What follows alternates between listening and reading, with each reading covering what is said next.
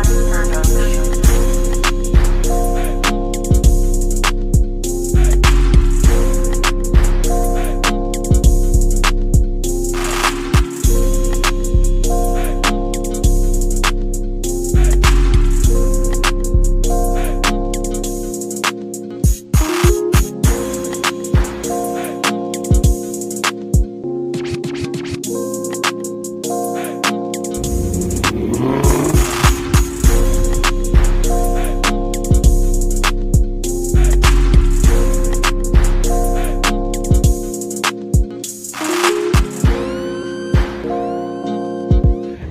what's up, BBG gang? It's been a while since the last time you guys seen anything on the channel. Uh, here we are today. What I'm gonna be doing is I picked these up at the junkyard the other day. They're black door panels for my LS. Um, if you guys don't follow me on Instagram or got me on Facebook, I did sell the 400. Sold it to a buddy of mine. Um, I just had too many projects going on and I, I'd rather focus on my main LS because this is the one that I've put so much work into already. Uh, basically, what we got here is some black OEM door panels. Like I said, I picked it up at the junkyard, um, along with some other things. I got them for a really, really good deal. Um, if you guys don't know as well, uh, I had already started painting my old door panels, but after a while with me not clear coating them, this is what they looked like. So if you guys were to go the route of painting your door panels or any other interior pieces, I would recommend that you guys put a clear coat over it, because if not, like I said, it looks like that. It looks like it looks like it was made by a two-year-old monkey on a farm. that after a while starts flaking off and you don't want that. Um, it did look good for a while um, till me and my family actually started using this car every day. So that's what happens with everyday use. If you're not using it every day, then I don't think you have to worry about it. But like I said, you can't go wrong with OEM ever. Um, I'm not just gonna leave it like this. What I'm gonna do, I'm gonna take it apart, clean it up and whatnot. Um, I also picked up some quilted diamond material. Picked it up off eBay for like uh, 25, 26 bucks. Can't really complain about the quality because it's cheap and it looks really, really good.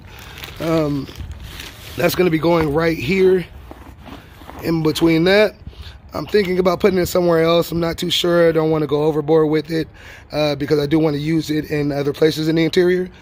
Um, yeah, it's basically just going to fill in all these parts on all four door panels.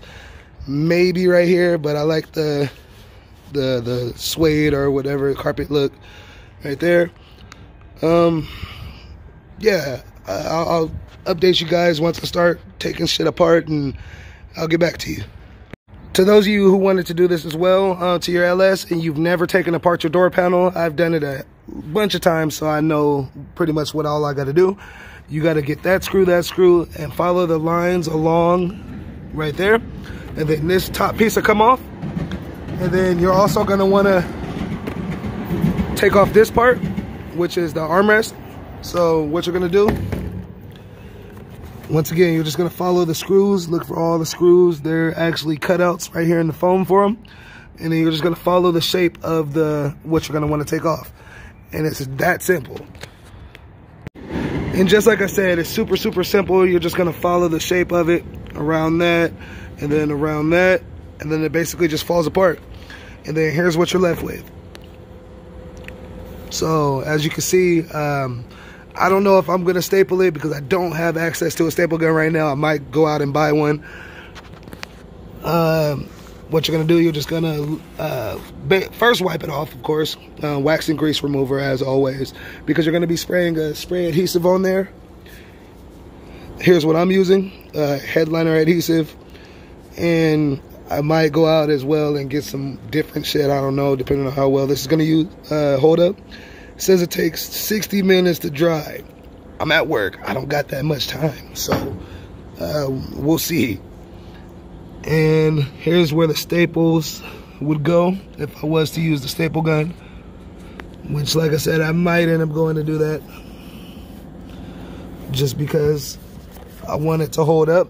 But I know a lot of you don't have access to staple guns. So I might do one of them just with the headliner adhesive just to see how well it holds up. Um, because if it holds up pretty good, then we'll just leave it like that. Because like this, uh, everything on this channel, it's, it's to a budget. So everybody doesn't have access to the tools and, you know, we just do what we got or we use what we got. All right, guys, so here's me wrapping up the very first door panel that I'm doing. The other one's over there drying on top of the car, or it's actually dry. Um, I went ahead and assembled the rest of it to see how it's gonna look. And I'm pretty happy with how it came out. Only thing I'm not happy about, and I'm gonna figure out how to clean that up at the end. Um, yeah, it's that part. That's it. And all I did was glue it down. I didn't use any staples. Um, when I did bolt everything on, I poked holes through the fabric and then um, screwed in the screws. That way it's, it's actually held in. It acts as a staple, but it's not a staple. Uh, let me just show you. So it's pretty much the same thing. It's sloppy as fuck, but oh well, I'm gonna do some cleaning up after the fact, after I get the rest of those done. Uh, it's not a major factor right now. Uh, it's just a rough draft. So this is what the end result looks like, like I said, which is a lot better than what it looked like before with the paint. I mean, if that's all you got is paint, go ahead and do that. But if you can find black door panels, start uh, with those from the beginning. That way it saves a lot of time. Happy with how my car is coming out, slowly but surely. trying to get it ready for this car show that we're going to be having uh, next month for my job. I didn't get to um, put my car in last year because I was working it. I think I'm going to be working it this year, but I'm still going to have my car parked there that's why I'm trying to get the last or these couple little things done before before then. I know my car is going to be the only VIP style car there, so gotta represent. Okay, so since I didn't want it to look like complete ass, what I did was I went out to AutoZone and I bought some of the um, some of that chrome trim that you can put around uh, that all the old heads, you know, they put on every part of their car. Uh, it was like 20 bucks. And where I'm putting it is right here. I'm putting it on the outer part just so it, um, and I'm gonna cut the, what's showing right there. That way you don't see it. And it just cleans up the edges a lot more and gives it that nice little, that classy touch. So it's a lot better than, it's a lot better than that. That's for sure. I mean, I'm not knocking my work, but I kind of am. It is what it is. That's the spray painted panel. So this is coming out. Oh, that's coming out. And the new ones are going in. I'm going to finish up the front ones either today or tomorrow. Probably tomorrow. Because uh, I got a lot of shit going on here at work. So it is what it is. Work comes first. But yeah, just wanted to update you guys before I put them in the backs. These are the rears. So I'm doing the rears first, then the fronts first. That way it doesn't look too crazy or too mismatched. Should have did one side at a time, but oh well. Fuck it. And I'll show you guys once I get one on. Give it that good old side by side. This is the exact panel per panel.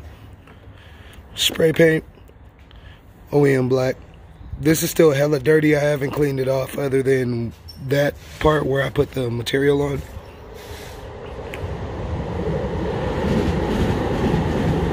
As you can see, the OEM black is just a lot more clean. Um, if I took my time with this one, I'm pretty sure it would have came out good. I also didn't spray a clear coat on it, so I could have sprayed a matte clear on it. This is just a gloss black um, natural finish, no clear coat at all. And I think if I would have sprayed that matte uh, matte coat, matte clear coat on there, it would have came out looking like this. But oh well. I'm a, uh, I think I'm gonna give these to my boy Junior. Um, go ahead and follow on my Instagram. I'm gonna drop his Instagram name right there. Check his shit out. Hit him up. My guy's a static, uh, static head. So you know, gotta show him some love too. So here we are, uh, third time changing it up. I got a new smaller tank from out of the 400. Uh, bought it back from the, the homie who I sold it to because he's going static. Uh, so I'm testing everything, making sure everything's uh, working right, the pressure switch and all that shit. Uh, I only bought it because it's hella small, so I could tuck it where it was in the 400 and put it over there in the corner. That way, I still got my sub space and all that shit. I could put the stroller in there, and that was one of the cons of having this setup over here. Couldn't really do much with my tank or my tank with my trunk. So you know, I want it to be family friendly. Basically, here's what the finished product looks like because I haven't really uh, recorded anything. The finished door panels. I still got to work on the center console uh, because, like I said, I bought the whole management from the 400, so I got those switches as well. So I'm gonna be getting rid of the, that uh, gauge and these switches right here. Get it back to looking uh, OEM.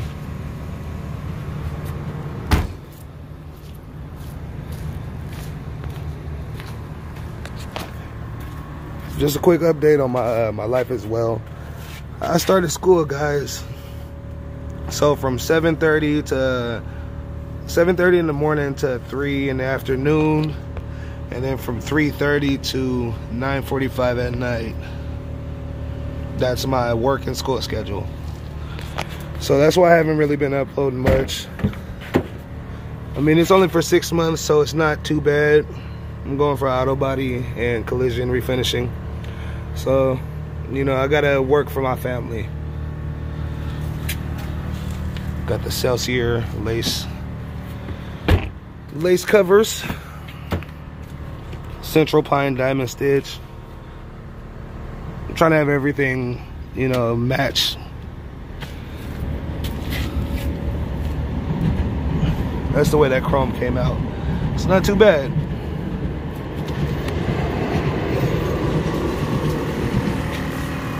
This motherfucker's not turning off no more. I just had everything all wired up. I think it's leaking from the fitting at the end though. So that's why the pressure switch isn't working. But when in doubt, it's exactly what I got that switch wired up for. For situations like that. Nigga, they pulled up on me right now. Nigga, they eating breakfast. What what you got? Shit, you know, free Danish. Pay for one, got another one for free. Hey, I love that vending machine. Free shit all day. all right. Oh, yep, big leaking. You can hear it. So I'm gonna figure out what uh where, what's causing it to leak. It's probably because I grabbed that motherfucking fitting with a vice grip not too long ago. Oh, actually, I think they took care of it. So there's that. But cool. So I'm gonna take the carpet off that setup over there, and put it back in here, so then that way it looks clean again. Uh, put my sub back in. Oh yeah, I got a new sub for uh, the other day. Uh, whoever has me on Facebook, they know they seen it. It's already fucked up too. Cause I had it with, like I said, limited space, so it was hitting this part right here.